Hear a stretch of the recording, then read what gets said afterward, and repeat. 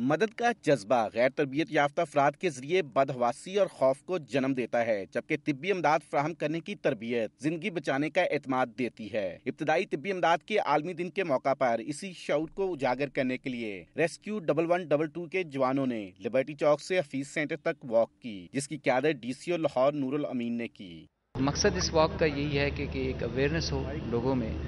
वो first aid की जो टेक्निक्स हैं वो सीखें। वॉक के शुरा का कहना था कि बर वक्त भी अमदाद से कीमती जानों को बचाया जा सकता है बिलखसूस किसी हादसे की सूरत में जख्मी के लिए पहला एक घंटा इंतहाई अहम होता है। बहुत ज़रूरी मेरा ख्याल तो हर घर में ये होना चाहिए क्योंकि किसी टाइम भी कोई भी मसला हो सकता है। हमने अभी तक 1.5 मिलियन लोगों को रेस्क्यू किया और तकरीबन फोर लाख के करीब लोग लाहौर से रेस्क्यू हुए हैं। इब्तदाई तबी इमदाद के आलमी दिन के मौका पर आवाम को पैगाम दिया गया कि हर घर के कम अज कम एक फर्द को इब्तदाई तबी इमदाद की तरबियत ज़रूर लेनी चाहिए। कैमरामैन अशरफ ननकानवी के साथ लियाकत अंसारी, दुनिया न्यूज़, लाहौर।